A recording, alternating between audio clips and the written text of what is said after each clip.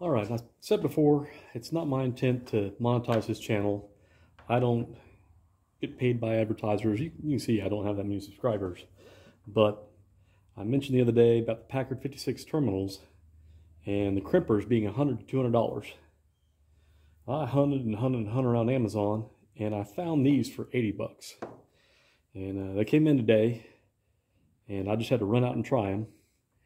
It crimps, both these crimps at the same time, and 80 bucks, shipped from Amazon. I'll put a link down in the description.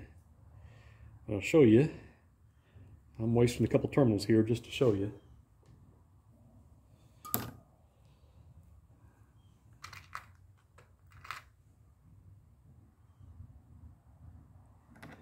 You lay it in there. And I'm using the biggest setting on this crimping tool because these terminals are pretty big. And you can see it ratchets down, so it won't let go until you've crimped it far enough.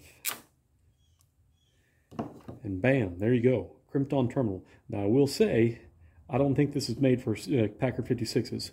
This back edge here, this curl around the insulation, you could, it's a little bit, the crimp is a little bit too small for this, this part of the terminal.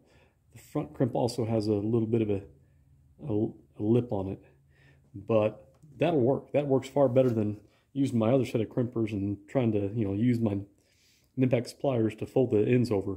That's got a nice crimp. And uh, $80 shipped.